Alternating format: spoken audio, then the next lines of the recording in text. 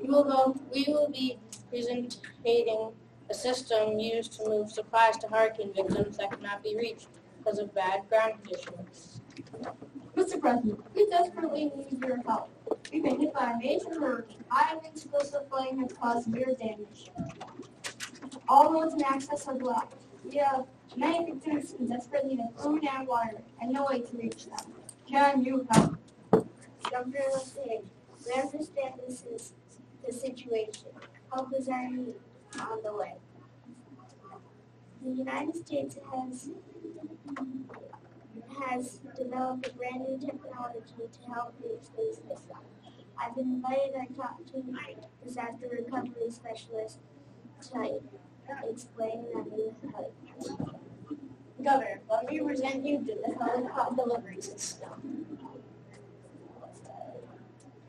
Uh,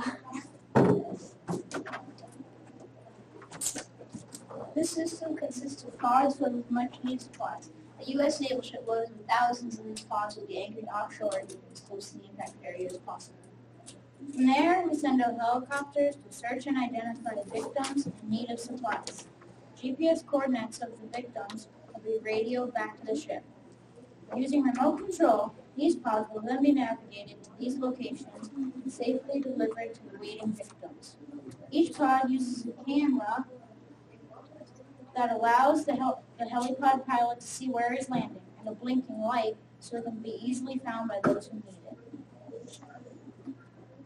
These low-cost pods are preloaded with water purification tablets, protein bars, or whatever supplies are needed. Once the pod has been safely delivered, top remote control section, yeah, top remote control section detaches and heads back to the treat, treatment of the pod.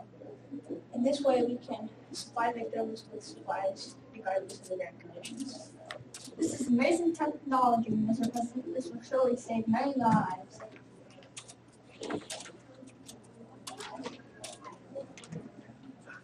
We will now demonstrate the helipod system making a delivery to waiting victims.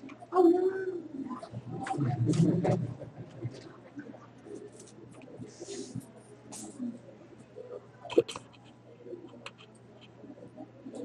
This is chopper three. I spotted more hurricane victims. Over. Help, I need food and water and stuff. Help. I'm sending the GPS coordinates now. Do you copy?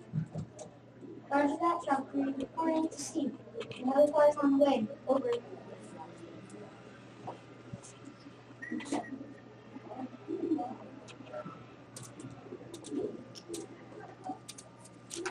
That concludes our demonstration of the helipod system. Okay, guys, very good. You guys tell me, tell us about some of the sources you used in your research? Well, we had um, one of the uh, kids' moms come in who has been in a hurricane and talk to us about what you might need to do to prepare and recover from a hurricane. What else? Um, and we went home and did, did some research on hurricanes and brought five facts back to um, Coach Justin, and he reviewed them, and um, we thought of a way how to help people were in need. Like we we took the Philippines hurricane, for example, where um, the supplies couldn't be handed to the um, to the victims. So we thought of a way try, like, to try to um, bring supplies over to waiting victims that need help and like that people that um, are on land and can't get reached. So Do you use books and the internet?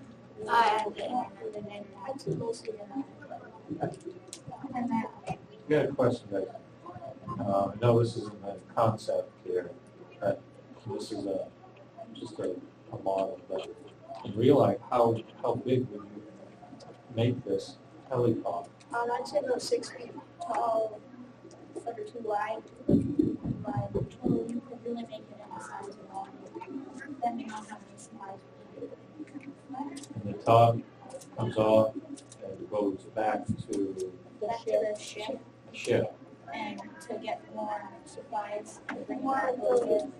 those. So it's kind of like a UAV, un- unmanned aerial vehicle. Remote control? Yes. Ah.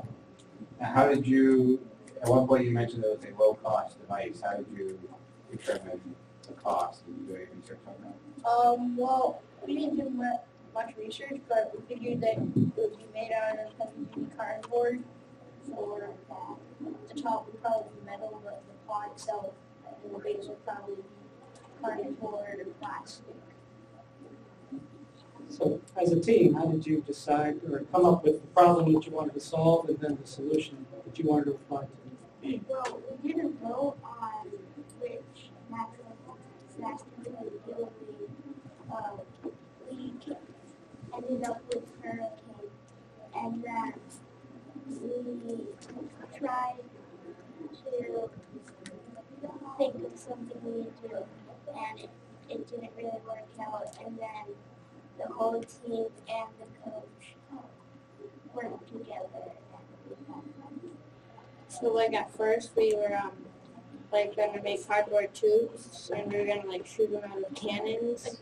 But then we decided that wasn't gonna work as well. And we um, decided to make it like remote control with this. Uh, did any of you guys watch 60 Minutes? Oh, how they were doing Amazon. Yeah. Yeah, I watched that. That happened after we had our Oh, plan in I know, I know, concept's very different, it's just, uh, Yeah, it's it's still alright. just fun. It's just You guys are geniuses, It's like Jeff Bezos. Nice job. Nice job.